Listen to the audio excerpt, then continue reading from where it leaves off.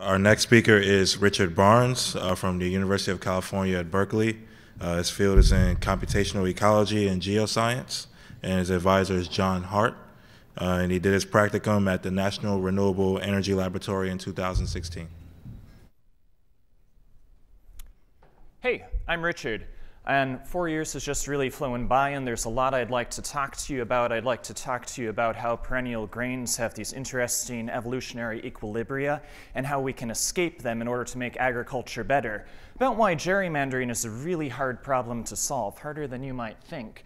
About how salamanders are actually a proxy for a punctuated equilibrium, and how we can explain that by coupling geologic and ecological models together.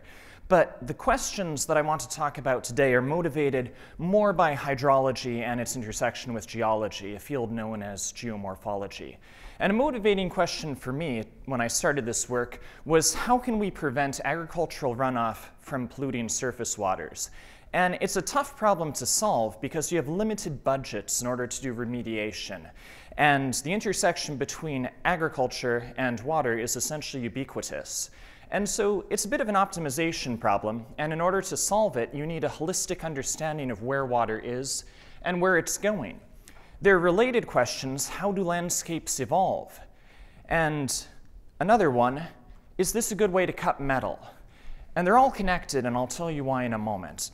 But it's a tough problem to solve because the resolution of our data has been increasing dramatically over the last decade, up to the point where we have one meter resolution for really large areas. The circumpolar region north of 60 degrees is three times the size of the continental United States. And we expect data of this resolution to cover all of North America within a few years and the world soon. And that'll be updatable on a weekly basis.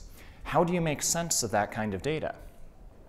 And this is mixed in with this challenge in computation, right? Like the number of flops per core is holding steady, the number of cores is going up. Um, there's this gap between processing and memory. Um, and you might ask, well, can't we deal with that with specialized hardware? And sure, if you can make your algorithm look like machine learning. But in, in some algorithms, that's harder. Graph algorithms are one of these cases. Combinatorial algorithms are another. So here's the game we're going to play. I have elevation fields that come from stereoscopic satellite imagery. Water is going to flow over the landscape. It's going to go downhill. It's going to converge. I want to know how much water is going to pass through a given point. But there's a depressing problem here. That water might end up in a local minima and it can't escape. So I need to help it out. I need to lift it out of there.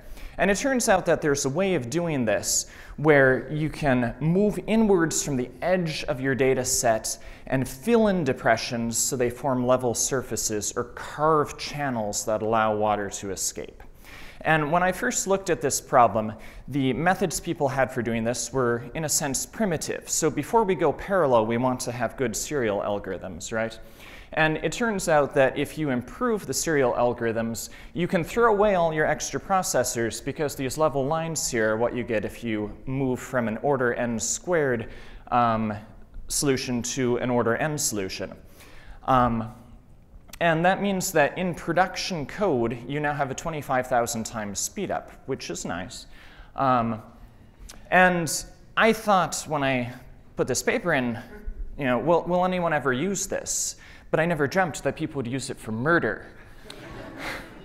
um, but they've also used it for studying the cosmic microwave background radiation, the formation of the universe, and for studying biological membranes.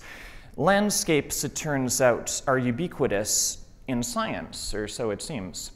There's another problem that I encounter in my work, and that's flat areas. When water hits a place with no local gradient, it doesn't know where to go. And uh, nature figures that out, but sans nature, we have to develop some kind of proxy in order to solve the problem. So here's one idea. Water flows towards lower grounds and it flows away from higher grounds. And these two processes coupled give you a really nice looking convergent flow field. We won't discuss how realistic that is, but I will assert that on the scale of continents, this is a good enough approximation. And again, the serial algorithms for this were not great.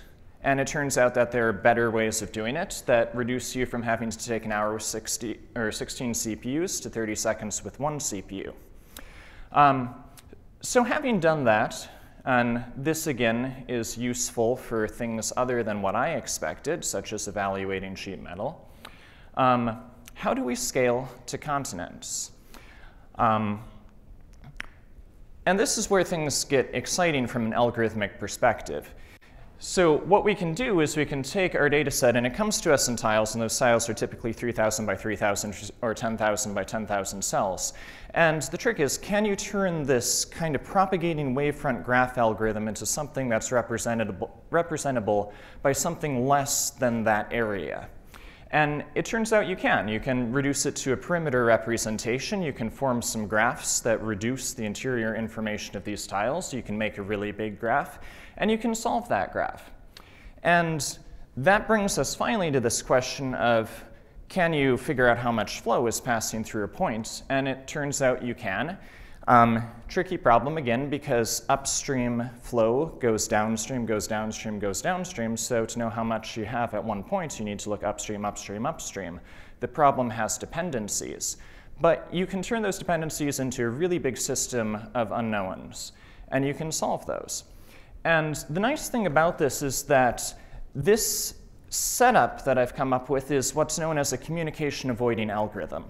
Earlier I had a chart where CPU speed was diverging from memory speed, a trend in computing. And that means that anytime we can avoid communicating with memory, much less between nodes, we're winning. And this is an algorithm that minimizes that communication to a fixed number of events and a fixed amount of data movement per tile. And that allows me to run this not only on a supercomputer in a fully parallel fashion with 14,000 cores, which is what you need in order to exploit the full parallelism of the problem, but I can also run this on my laptop. And it efficiently uses the hard drive because each one of these tiles needs to be touched a fixed number of times regardless of the problem size. Um, and this successfully raised the bar of what it was possible to do in this field by three orders of magnitude, to the point where I had run out of adjectives to describe what this work meant, so I refer to it as being rather large. Let's talk about landscape evolution models. So we've gone really big, and that's useful for solving some problems, like separating agricultural pollution from water. But there are other problems where you just want to iterate little data sets really, really fast.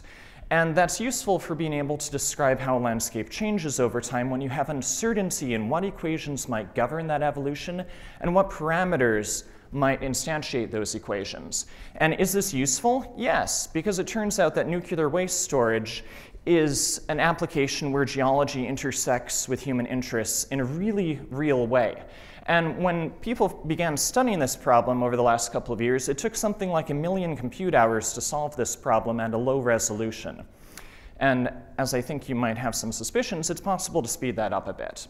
Um, and so you have a topological question. We can make directed acyclic graphs out of these flow problems. And uh, it turns out in the field, stack order was preferred. People like their depth first search traversals of graphs. If you switch to a breadth first traversal, you get uh, significantly more parallelism. What does that look like? Um, when you use the depth first traversal, when you try to parallelize that, you run out of parallelism quickly and you have these long computational tails where you're waiting on just a few elements. Um, but in a breadth first paradigm, you're able to maintain high parallelism and you have a short tail on your distribution. Um, but what about CPUs? Everyone is like, GPUs, they're so fast, they're so great, and I wrote something that uses GPUs and now my code is fast. But the, the thing is, those people put a lot of thought into the GPU because the GPU is like a binary. Either you did it right and your code goes fast, or you did it wrong and your code doesn't work. And so the result is that by the time it works on the GPU, well, of course it's fast. But did you put similar thought into the CPU? Because that architecture is growing so complicated now. There are so many cores. Are you using them effectively? And so a lot of people don't actually do the comparison work of optimizing the CPU code and comparing it against the GPU code. And for this particular problem, I've done that. And you can see that the CPU is actually quite competitive. And this is interesting for heterogeneous systems like Summit, where you've got something like six GPUs plugged into a really badass CPU. Can you use all of that computational power? Um, this is the other thing about GPUs, right? When you're on the bleeding edge, sometimes you, you have problems in your code and you're questioning yourself. You're like, is my life only a warning to others? Um, but after you rule out all of the other problems, just like Sherlock Holmes, right? Only what's possible is left, and uh, sometimes it's not your fault, which is nice. Um, so, a lot of what I've talked about are these kind of specialized algorithms. And there, there are more general formulations, right? Like the linear algebra of graphs says that we can represent sparse graphs using these computations that are ubiquitous in science. Why would I not use a tool like this if it's so general? Um, one of the reasons is that these, uh, these sparse representations tend to come in these kind of unattractively complicated libraries. Um, another reason for this is that, nope, let's just stick with that reason. um, unattractively complex libraries. Um, when I started working on this code, there was a question of what was it that I valued?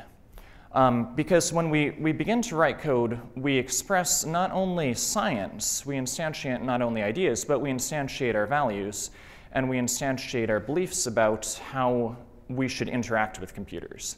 And some people are searching for peak performance. But in the fields that I interface with, using the kind of computation that we talk about every day here is not something that people are actively aware of or know how to do. And so there's a whole suite of tools that is in essence outside of their Overton window, outside the realm of what they can talk about or make use of. And so the previous work that I've shown makes use of, instead of CUDA, OpenMP, OpenACC. Why would you do graph algorithms using these kind of primitive tools? Because this allows me to write the code in a way where it's adaptable and useful to the fields that I'm interfacing with. And this is true of my other work as well. Python is a slow language, but if I can make it talk to C++ in a way that hides this underlying complexity, then that allows me to make my work communicable, right? And a couple of years ago, I got a hold of an associate editorship with one of the journals for my field. And with this ultimate cosmic power, I was able to impose values on this field. And one of the values that I imposed was that we're going to release our source code and it's going to be well commented. Um, and now, a couple of years later, the magazine, this journal, doesn't accept anything that isn't open source. And so part of what I want to do with my work is to try to not only make code useful to people, but to make that the norm.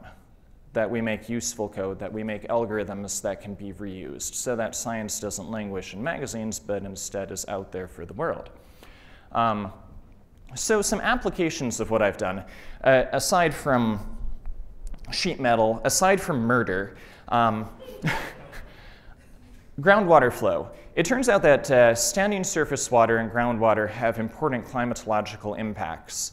And the, the, the, methods that were used for doing this were essentially these iterative relaxations where you would move some of your water downstream and then the gradient gradually gets shallower until you eventually reach a point where you're within some kind of air tolerance. And it takes something like a week to do an iteration of a global surface water model that way. Um, using these methods, you can do it in about 30 seconds. And that allows you to finally begin to incorporate the movement of water into something like a climatological context. Um, global river migration. I wasn't able to use my 2011 ThinkPad for this, so I'm hoping Windows works. Um, this is the Ucayali River in Brazil, and it's about a kilometer wide, and you can see it's just on like a collision course with this city. And we don't understand why it is that rivers move like they do.